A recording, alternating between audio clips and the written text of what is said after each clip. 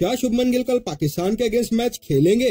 जय कैसे आप लोगों को पता होगा वर्ल्ड कप से जस्ट पहले शुभमन गिल को डेंगू हुआ था, जिससे ऑस्ट्रेलिया और अफ़गानिस्तान के अगेंस्ट वर्ल्ड कप के first two matches Shubman Gill miss किए थे। और आज जब इंडियन टीम का प्रैक्टिस सेशन हुआ तो उसमें शुभमन गिल 45 मिनट तक नेट्स में बैटिंग किए। और रोहित शर्मा भी कंफर्म कर दिए कि शुभमन गिल 99 परसेंट फिट है और अवेलेबल है कल पाकिस्तान के अगेंस्ट मैच के लिए। ये इंडियन टीम के लिए बहुत ज़्यादा गुड न्यूज़ है। क्या शुभमन गिल कल पाकिस्तान के अगेंस्ट सेंचुरी लगा सकते हैं? हमें कॉमेंट्स में ज़रूर बताना।